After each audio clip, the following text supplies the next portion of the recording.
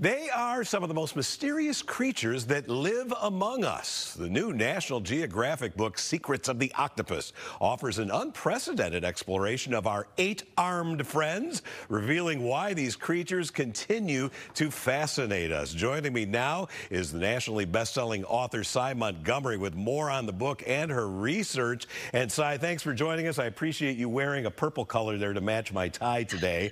Um, the first question for you. More than one octopus, octopi or octopuses? It's octopuses because yes. I is a Latin ending and octopus is a Greek word you can really say anything you want, but if you want to impress the octopus scientists, say octopuses. Well, uh, what initially drew you to this particular animal? They live in the ocean, and I've you know looked at uh, so much of your work. You've interacted with so many different types of animals, but what is so special about octopuses? Well, you know, I'd done maybe 30 books at the time that um, I, I, began my research, was which was in March of 2011. But all of my animal friends, well, most of them were terrestrial, and many of them were vertebrates. Mm-hmm. You know, backboned animals who live on the land. But most animals on the planet are actually living in the sea, and they're invertebrate animals with no backbones like octopuses. And I felt like I needed to get to know someone like this. And the octopus has really a remarkable nervous system. They don't have a central brain like we have, and yet they're very intelligent, aren't they? Oh my gosh, what is so wild about these animals is that you'd have to go to science fiction or outer space to find something more different from a human.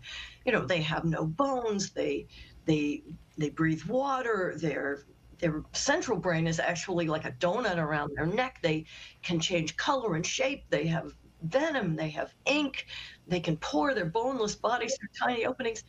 And yet, they can solve some of the same problems that we can.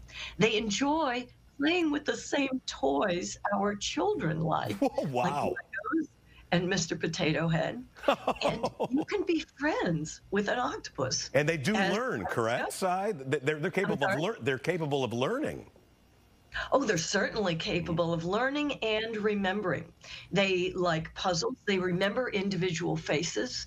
The octopuses who I knew quickly learned who I was. We have tested this um, scientifically at other aquaria that they definitely recognize individual faces.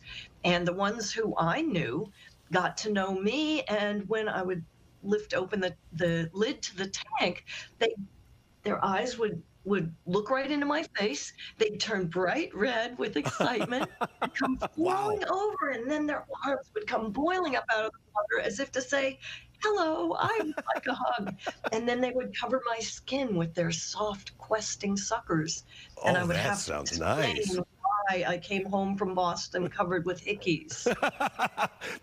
That's a good story, even if it weren't true, Sy. All right, uh, real quickly, real quickly here, just in 10 seconds, uh, tell us about your new book and where folks can get it. Well, it's called the Soul, the Secrets of the Octopus, and it should be available in all stores, pretty much everywhere. Secretsoftheoctopus.com, and there is a companion film National Geographic is showing on Earth Day with amazing footage of these animals that everyone will love. All right. Well, it's fun looking at them, Sy. We appreciate you sharing your uh, experiences with these wonderful creatures, the mollusks, the octopuses. If nothing else, we've learned how to properly refer to them in the plural. Sy, again, thanks for joining us and uh, keep up the great work there helping uh, conserve these animals.